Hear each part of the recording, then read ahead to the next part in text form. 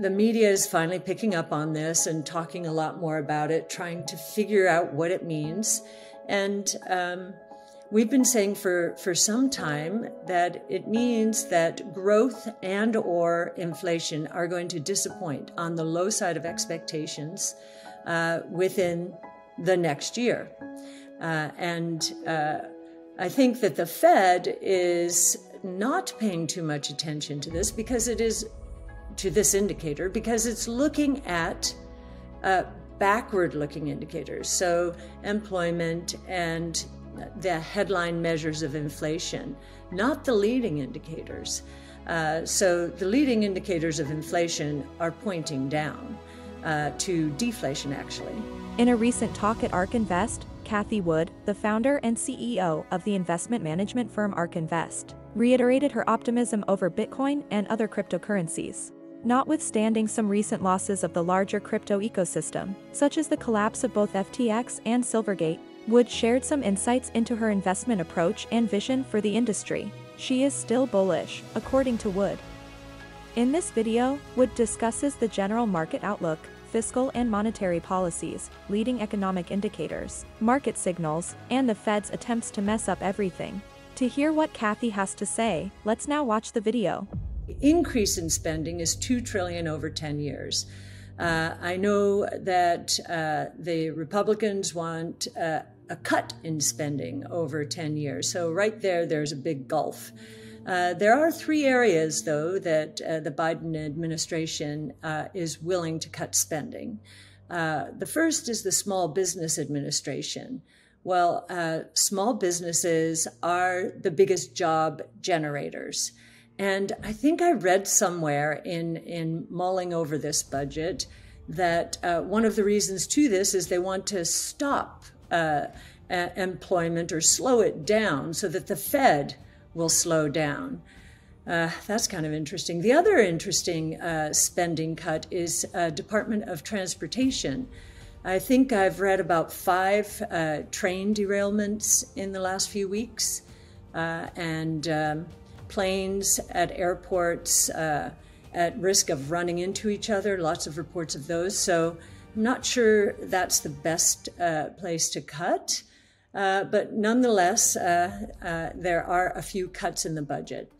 Um, it'll be interesting to see how the negotiations go. Uh, these budget proposals are typically a no go, they're going to change radically. But I did want to give you a sense of um, the massive tax increases across the board uh, that the Biden administration is proposing to close the budget deficit.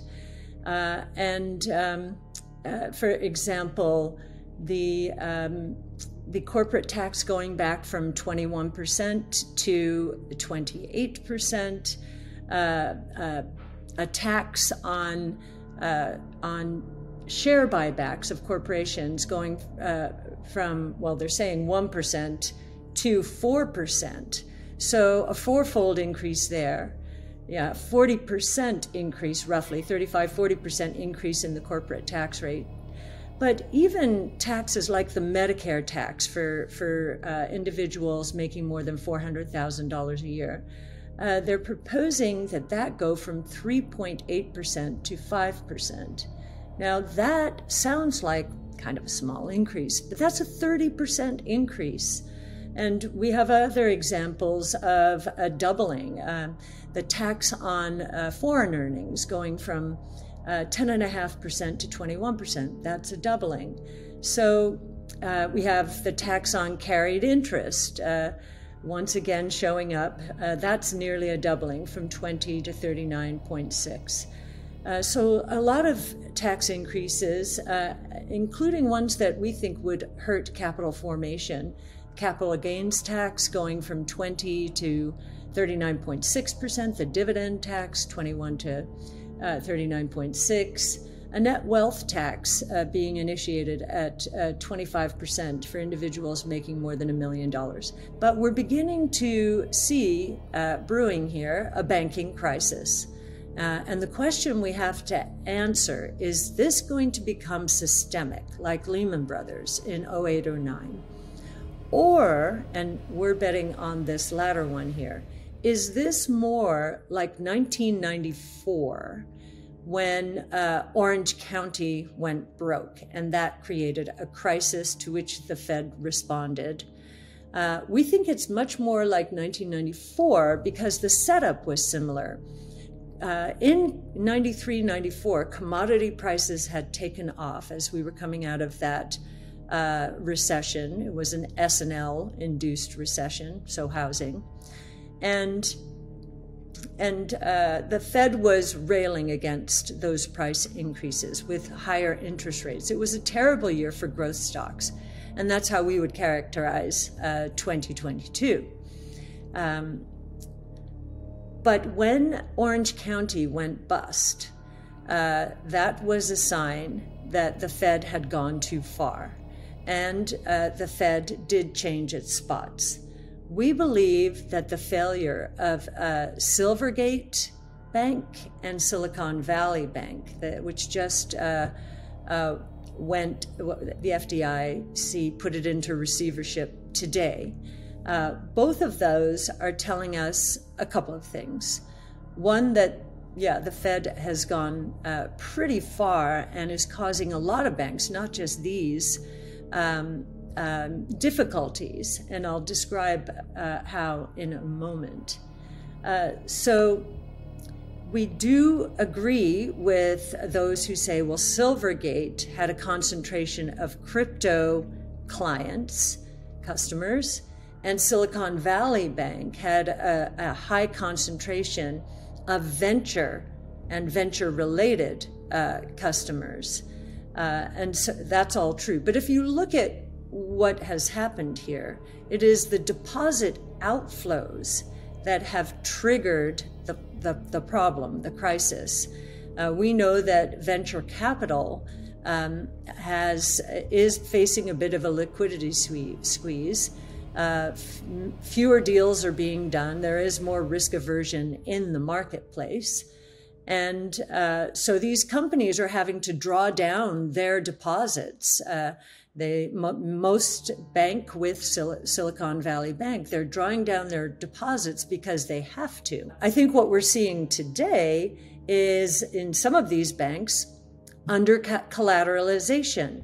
But in both cases, what, what do we have going on? These are centralized entities.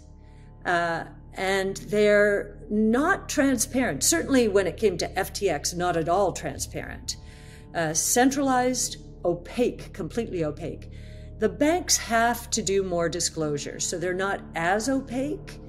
Um, and, uh, you know, you, you could see that they were upside down in terms of interest rates, having to pay up for deposits, but earning a very low yield to which they committed at a bad time when interest rates were very low, thinking they were being smart.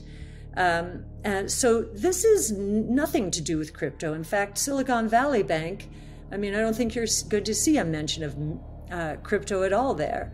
Uh, so it has nothing to do with crypto, but it does have something to do with what happens during banking crisis usually. These banks are upside down. They start losing deposits. Uh, in the case of Silvergate and uh, Silicon Valley Bank, there's a run on the bank. When you get Peter Thiel and other uh, famous investors and well respected investors saying, get your money out of there, they're going to take the money and run. And uh, so this is nothing to do with crypto. This has everything to do with Fed policy, we believe, uh, taking interest rates up so dramatically, uh, the most rapid rate in history and taking money growth down from 27% two years ago to minus three. So that's a 30 percentage point swing that has never happened. We've gone back to the Great Depression to see if that was the case back then as well. It wasn't. With each passing day, there is more and more bad news about the economy, and the future's course is still unclear. What do you think about how the market is now doing? Comment below with your thoughts and let us know. Don't forget to like, subscribe, and enable post alerts. Many thanks for tuning in.